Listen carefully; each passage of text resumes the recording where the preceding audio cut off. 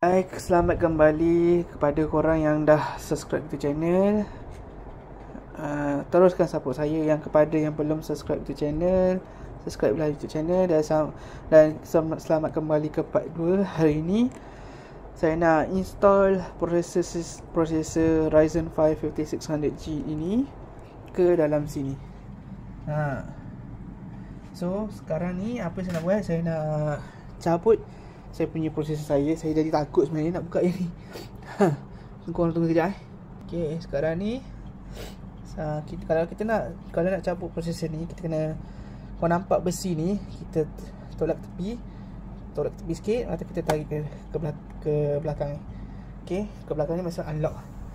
So kalau nak cabut Kalau korang nak ambil Korang pastikan korang tangan Korang punya uh, Tangan korang kejap ni ambil macam ni lah angkat macam ni. Tapi kena gentle lah processor ni sebab processor ni pin je pin processor ni dekat uh, proses, ni processor Ryzen ni pin dia dekat processor kat, kat soket tak ada nanti.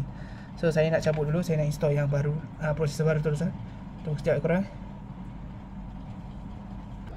So sekarang ni saya nak buka processor ni. Sebab nak buka processor ni kena hati-hati ya korang ha, korang kalau buka processor ke apa kan korang kena kena very careful. Ha, processor Ryzen ni memang very fragile. Saya nak buka, buka ni pun dah shaking tangan ni. Saya takut. Sekejap korang. Saya saya ni dulu lah. Saya pasang dulu processor ni kat dalam soket uh, AM4 saya tu kat motherboard saya tu. Nanti korang tengok result macam ni kat sini korang boleh nampak lah kat processor ni eh. Korang nampak tak gold triangle dekat sekejap saya cuba. Korang nampak tak? Uh, gold triangle dekat processor tu. Uh, korang kena line up dekat soket AM4 tu. Itu uh, take note lah. Jadi inilah uh, saya dah install lah processor Ryzen 5 5600G dekat saya punya AM4 ASRock Steel Legend uh, B450 dengan BIOS versi 4.31 tak silap saya lah. Latest BIOS daripada ASRock lah. Website ASRock so saya dah update lah yang latest punya. So korang tunggulah sebentar lagi. Oh ya yeah, lupa. Lepas kalau korang dah pasang processor macam ni dah letak tempat dia yang besi kat sini kalau korang nampak ni kan besi ni korang tolak dekat sebab tadi kalau daripada bawah korang kalau dekat Sekejap kalau boleh lah kalau dengar.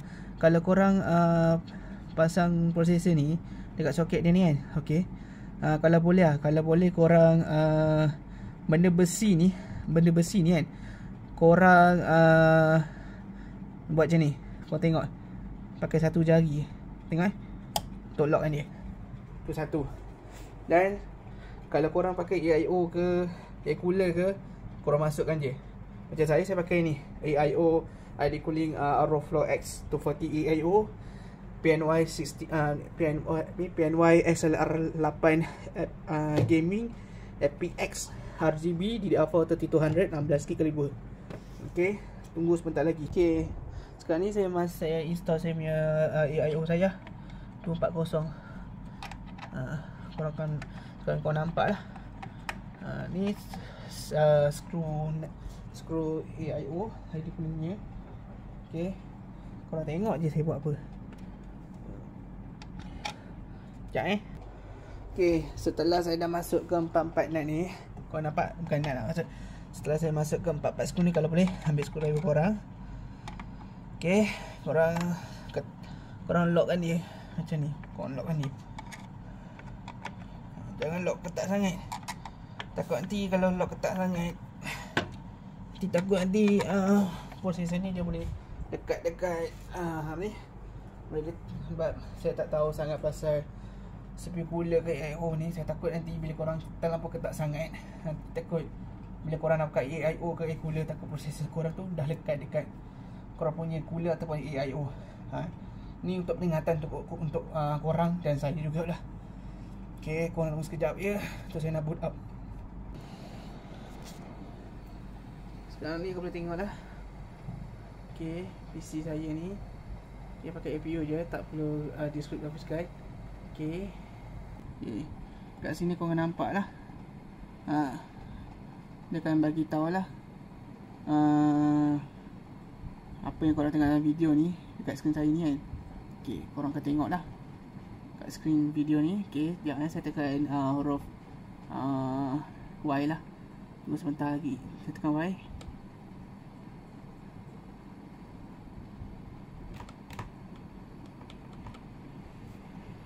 Okay. Okay. Okay. Sekejap. Okay, sekarang ni dah boot dah. Okay, dia dah boot. Okay.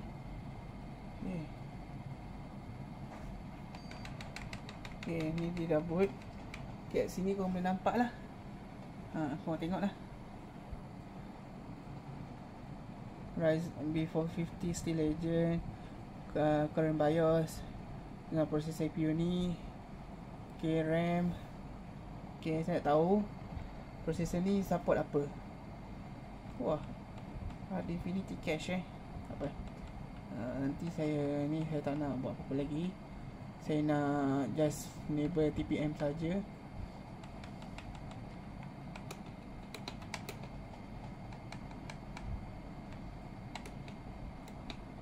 dengan ni. Okey. Hmm.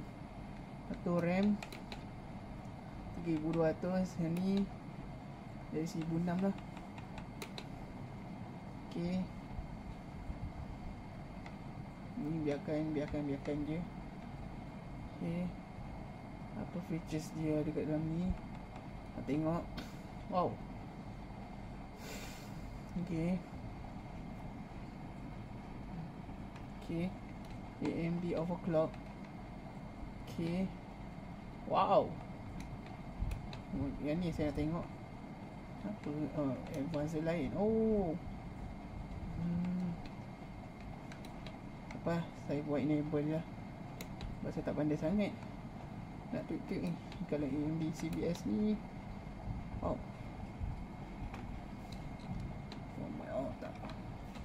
Ni saya tahu. Tak payah. Tak payah. Sini untuk Enable uh, Ya.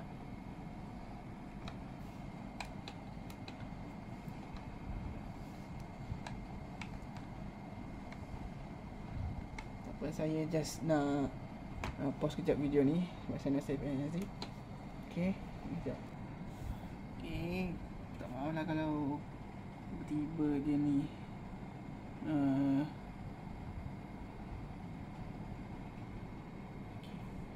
Di sini. Ni saya main kat mana? Di F Kan? Uh, Ni kot kan? Eh kan? Sorry. Kan kan kat sini kot. GFX configuration yang ni uh, ni by auto lah saya buat uh, hmm, UMA oh, ni UMA uh, specify ataupun game optimize pun boleh tapi saya ambil specify lah. Ok lepas tu dia macam ni. So disebabkan kan disebabkan motherboard ni support uh, untuk ni support uh, okay macam ni nak upkan VRAM macam ni. By default APU ni 512 kalau sekini kalau proses sekini kalau PC korang RAM ideal 16 gig more than ni more than 16 gig. Okay sistem RAM korang jadi 32 gig macam saya ni. Korang boleh select up to 16 GB lah. Maksudnya uh, 16 GB punya amount RAM dia akan ambil daripada sistem RAM korang. So maksud kalau PC korang RAM uh, lah RAM 32GB macam saya ni saya boleh up to 16GB ha, tapi nanti available dekat saya punya sistem saya jadi 16GB lah. Ha, tapi untuk gaming performance tu saya tak berapa nak pandai sangat lah. Ha, korang kan korang sendiri kan boleh nampak sendiri lah. So macam sekarang ni saya nak cuba up to 8GB dulu lah. Saya tak nak buat lah 8GB, uh, 16GB Takut di tak cukup uh, more RAM. So So sini tak payah. Tak nak buat apa-apa dah. Hmm, Tak payah. Okay Kat sini. Okay dah settle. Okay korang Korang tengok dekat sini eh. Sebab tadi saya dah set uh, APU tadi tu uh, 8GB kan So tengok. Sekarang ni Ni, uh, ni processor yang saya pakai sekarang ni. Tak, saya tarik tengah okay. Ni processor saya uh, pakai sekarang ni So ni RAM saya lah. So saya Saya dah tadi nampak ya Saya dah ambil lah uh, 8GB So Macam mana tahu?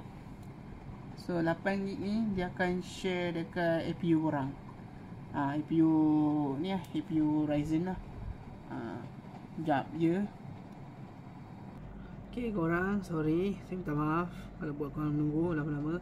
Okay ini adalah Processor uh, Yang saya pakai sekarang ni Ni spek processor. Ni mainboard ni lah Motherboard saya. Ni RAM Memory lah RAM. Okay korang, kan, korang boleh tengok sini. SPD ni Jenis uh, 45 RAM lah. Uh, Dan RAM korang ni Adakah single rank single single rank ataupun dual rank? Sini ada timing table apa benda korang tengok sini. Okey sini adalah graphics ni bahagian GPU lah. Okey sini korang boleh nampak lah AMD Radeon Graphics. Okey korang nampak sini. 15 watt. Sekarang ni on.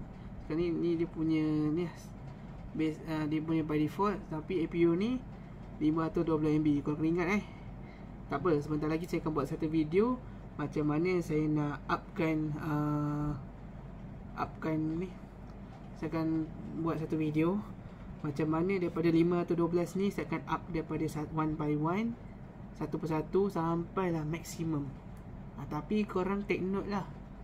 Nak increasekan dedicated APU APU daripada 5 atau 12 ke yang higher uh, VRAM yang besar kapasiti yang besar kan. Korang pastikan korang punya sistem RAM korang tu uh, lebih besar.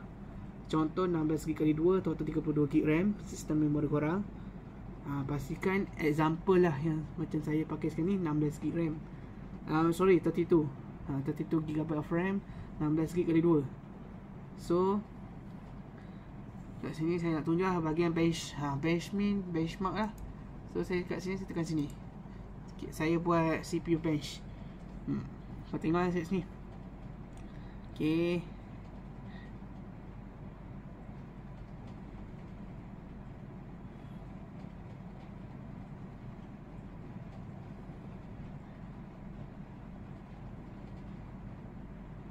Hmm. Inilah skor dia tersebut. Dan kat sini boleh compare lah. Processor tak adalah high end sangat.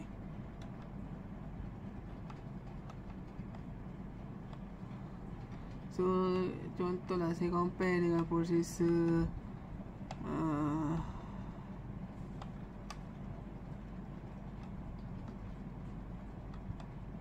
Contohlah saya compare dengan ni uh, 8700K 6 core double set juga kan? Saya compare kan Processor ni dengan 8700K Korang tengok lah.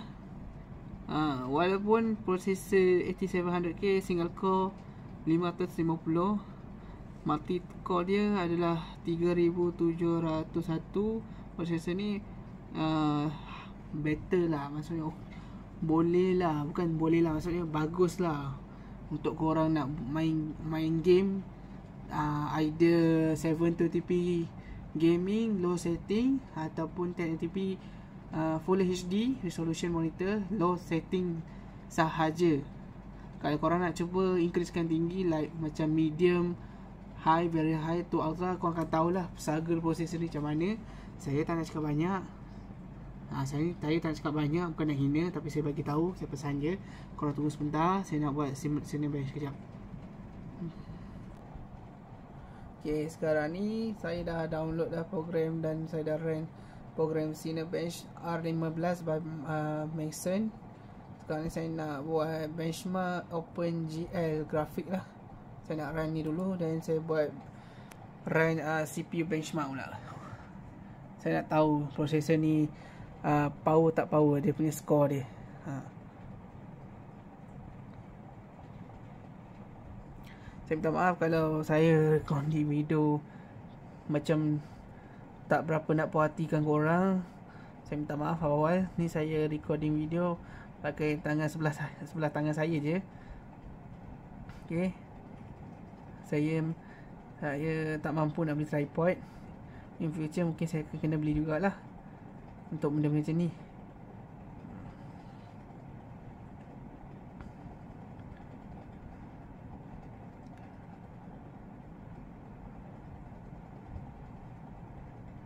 Okay.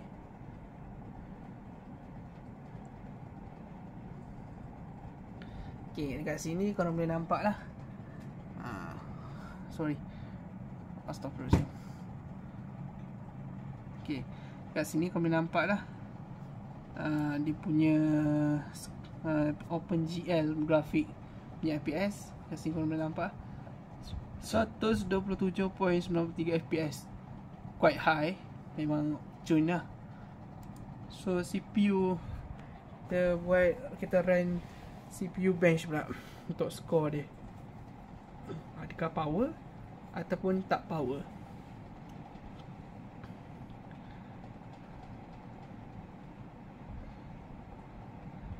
Okey.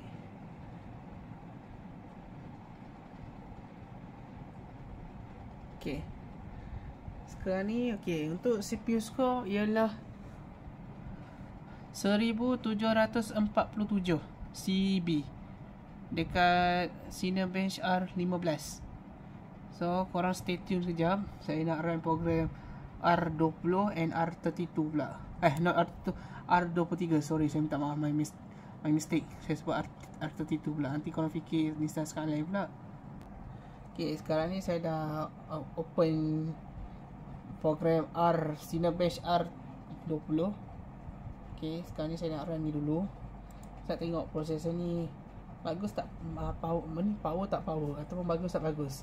In term of uh, multi multi score multi cost uh, score dia.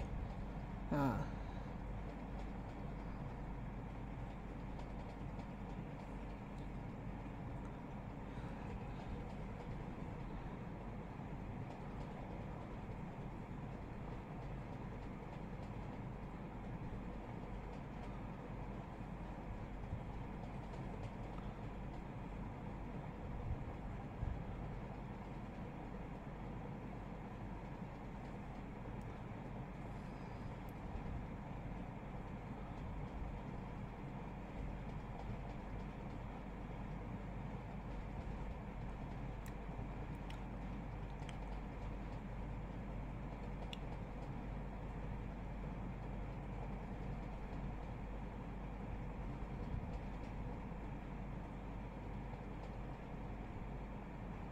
Mak eh. Power juga.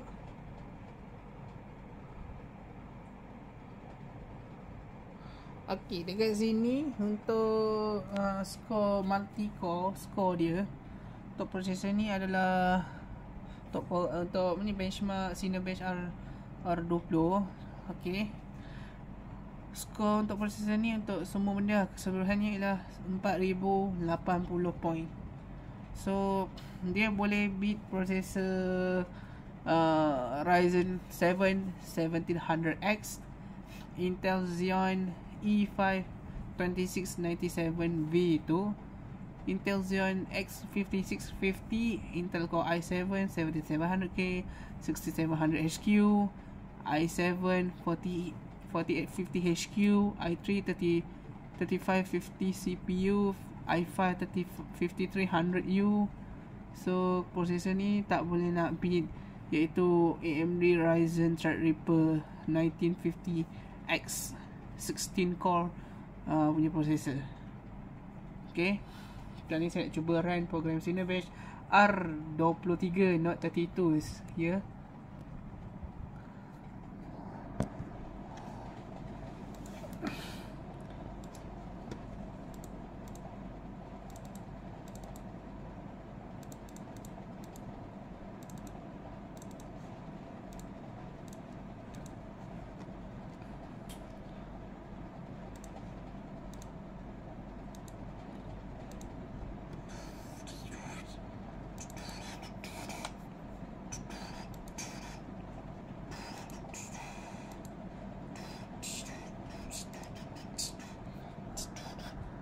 lagi. Alamak. Ah, entahlah. Saya kena pause lah. Bosan. Kau dengar kejap ni apa yang saya buat ni bosan. Saya bosan ni. Okay. Sekarang ni saya dah load load program Cinebench R23. Ini saya tak tahulah berapa lama lagi saya nak tunggu. Tak sanggup saya nak tunggu.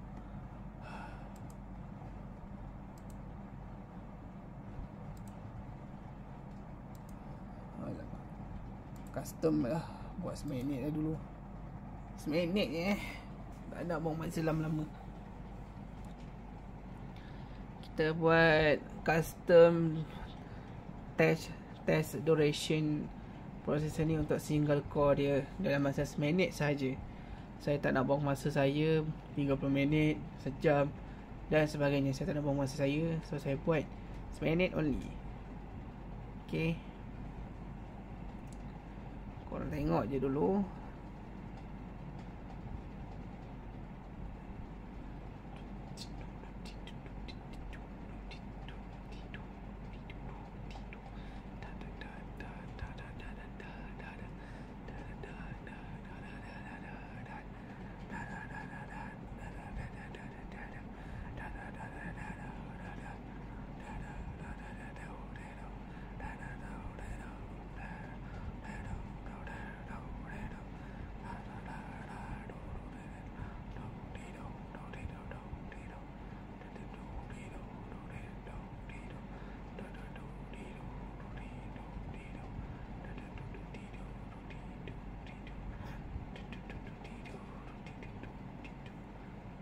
Okey. Untuk single score Cinebench R23 Processor ni punya single core punya eh bukan single core ni multi core punya score sebanyak Allah sebanyak 10556 point. Wow. Quite good. Maksudnya baguslah dia boleh beat i9 9880H laptop processor.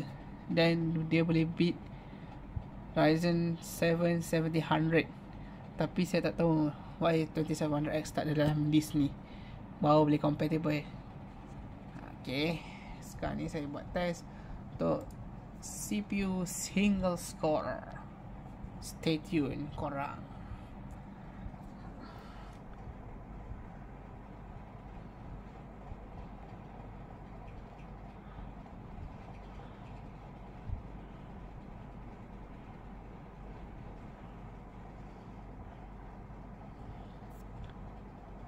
Okay korang saya kembali. Okay. So ini adalah score Untuk processor Ryzen 5 5600G Untuk single score uh, Cinebench R23 Ini dia. 1426 point. 1426 Single score point. Uh, Itu saja. Sekian. Terima kasih Okay, sebelum saya nak end uh, end recording ni, saya nak nak saya nak nak bagi tahu lah. Okay, kepada yang belum subscribe, boleh subscribe to channel saya untuk konten yang menarik pada masa akan datang. Okay, yang kepada yang dah subscribe, tolong share ni, tolong nonton video saya, komen ke apa benda. Kalau korang ada idea nak saya buat konten apa, bagi tahu je, komen je nanti saya akan uh, macam ni tu saya akan cubalah uh, saya akan cubalah buat konten apa yang korang nak. Tapi jangan melampau lah lebih-lebih. Uh, lagi satu yang kepada yang subscribe support lah share lah video ni dekat kawan-kawan kat kawan-kawan korang family member apa benda share je. Tak apa. Korang share je support saya sampai saya capai 1000 subscriber. Sekejap eh Saya tunjuk saya punya YT saya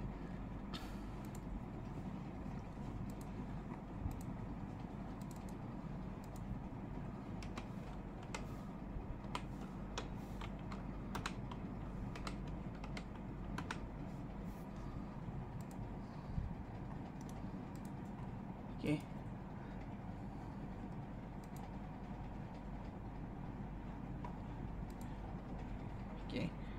kat sini okay ni ada ini adalah YouTube channel saya main. Main YouTube channel saya. Sebenarnya saya ada tiga account YouTube. Yang ni first. Lepas yang second lagi AMD Ryzen 7 2700X second Third channel is JRIT Service Enterprise. Yang saya sengaja upload video macam ni Dekat YouTube channel main saya Biarlah random content ke apa benda Pasal handphone ke game ke At least pun adalah unboxing review apa benda kan Berkata PC ni ke. Ha, At least pun tak adalah korang bosan kan. Tak semua orang lain tak saya tahu orang lain macam bosan. Tengok saya main game cengok gitu kan. So so korang subscribe lah. Ha, korang ni subscribe. Macam ni kalau kalau kalau korang tengok ni ha, okay, korang subscribe turn on notification turn on notification bell icon like atau like video comment share atau ni tekan butang ni ha, nanti kalau korang tekan ni ha, dia ada satu butang loceng sini ada ada yang nombor bawah tu tak nak notification standard dengan uh, uh, all lah all notification daripada video saya lah waktu saya ni okay. uh, setakat sini sajalah saya punya uh, apa ni saya punya video pada tengah malam ni okay, apa-apa pun terima kasih kerana korang menonton. Uh, bye. Assalamualaikum warahmatullahi wabarakatuh. Berabah jumpa lagi